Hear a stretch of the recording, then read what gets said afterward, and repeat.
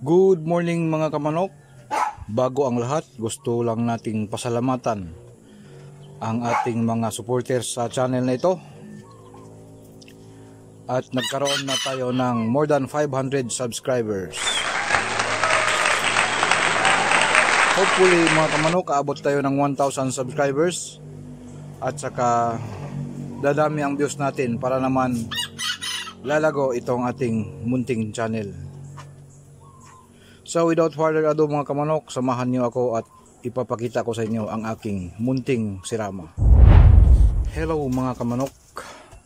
It's another beautiful day once again at nandito na naman tayo sa aking Al's World channel. For today's vlog, I'll be sharing with you an updates of my Sirama chicken.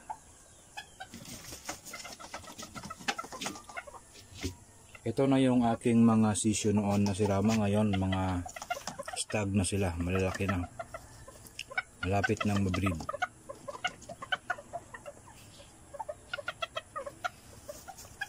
Yan ang aking buff. Ito naman yung isa. Magkapatid yan sila lahat mga kamanok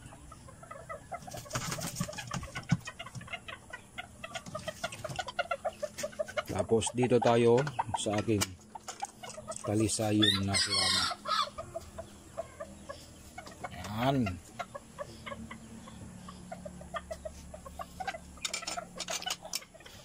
Ito yung aking chabo. Chabo. Yan si chabo boy. Yun ang isang chabo na babae nakalabas sa kanyang kulungan ito naman yung aking old english bantam na puti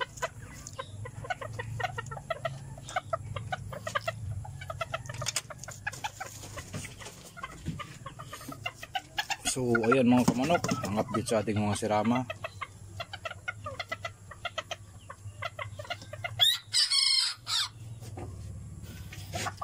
Ito yung aking munting manukan ng sirama.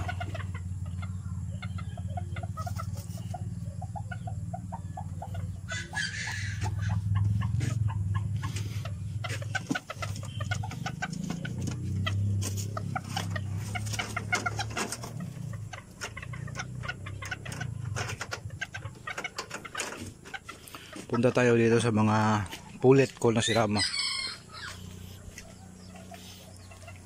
ayan ang aking mga pulet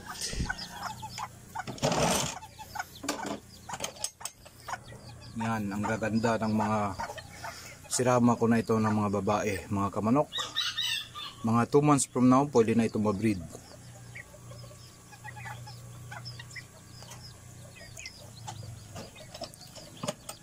Here's another one na inahin na sirama. May dalawa siyang sisyo. Puti mga kamanok.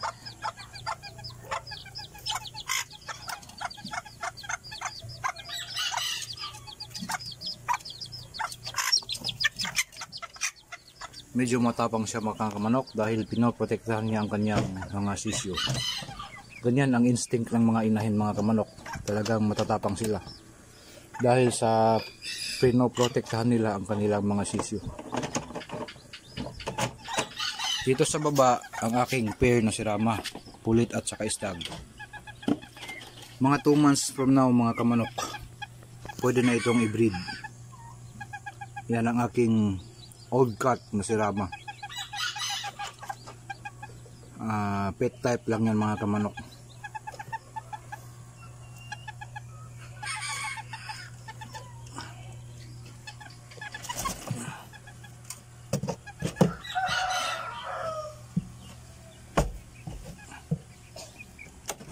Kabila ang aking pulet old cut din na sirama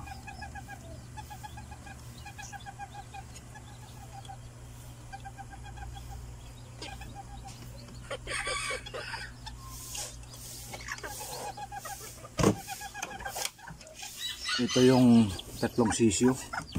Isang sirama at saka dalawang siyamo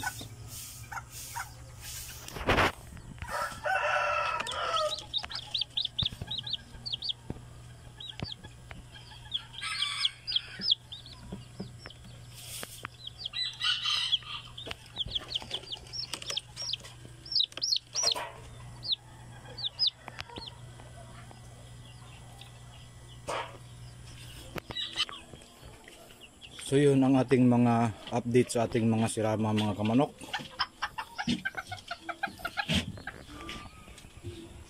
For your information mga kamanok, yung binibreed natin is sirama chicken at saka mga shamo chicken. Mayroon din tayong mga holohano yung tinatawag dito sa amin. At saka yung tinatawag na asil. May asil din tayo mga kamanok. Yan kung nakikita nyo yan. Yan ang aking hutako na shamo na isang hen. Tapos yung sisyo na yun mga kamanok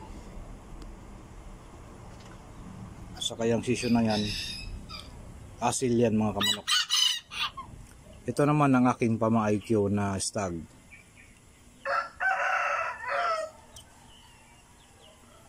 So dito tayo sa aking sirama chicken tingnan nyo ang tayo ng aking sirama mga kamanok. Talagang napakagandang pagmasdan. Kung ikaw eh nahihilig sa mga ganitong klaseng manok I'm sure na magugustuhan mo itong vlog ko na ito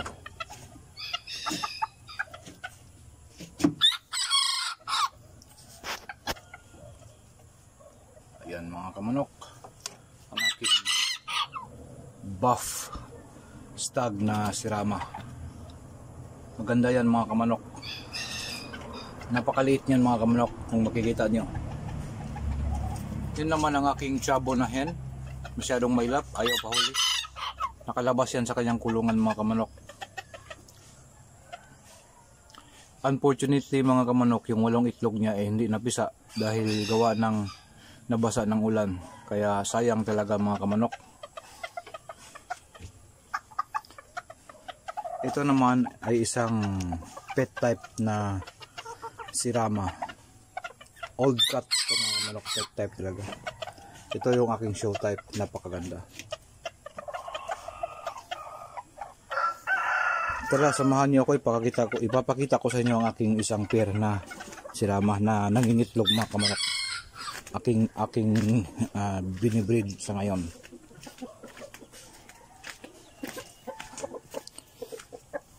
so ayan mga kamanok ang aking isang pair na si Rama. Yan kasalukuyan sila ngayon nagbibreed mga kamanok. Meron na siyang limang itlog. Ito naman ang aking uh, breeder na si Rama. Yung lalaki at saka yung babae na yan. Yan ang original kong breeder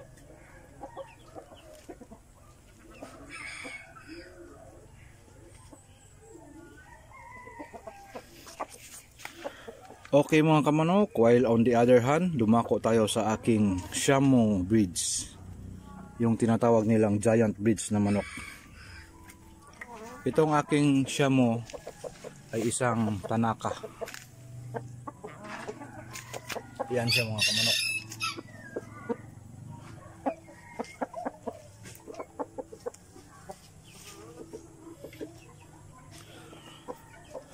Yan yung babae. Mayroon din tayong tatlong stag dito mga kamanok. Ayan. Kung nakikita nyo. Ang aking stag na mo At saka nandoon. Yan. Stag pa yan mga kamanok. 5 months old. Nandyan yung bulik natin. At saka yan. 7 months.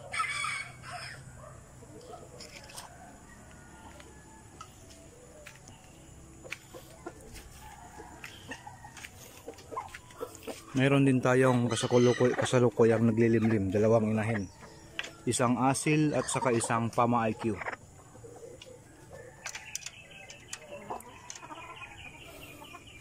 So sa ngayon mga kamanok, kakatapos lang natin maglinis ng ating backyard.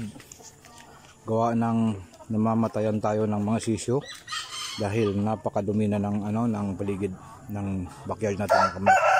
Kung nakikita nyo yung mga ito bagong linis lang yan mga kamanok.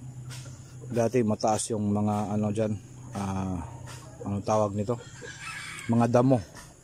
So sa ngayon nilinisan na natin mga kamanok. Para naman yung mga manok natin eh nakakagala sa range.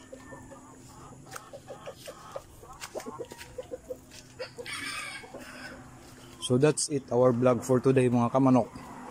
And if you haven't subscribed to my channel please do subscribing and hit that notification bell para naman kayo ay updated sa aking mga upcoming videos. Don't forget to like and share also mga kamanok.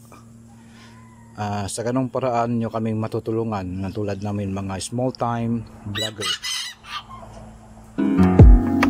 Once again thank you very much and have a good day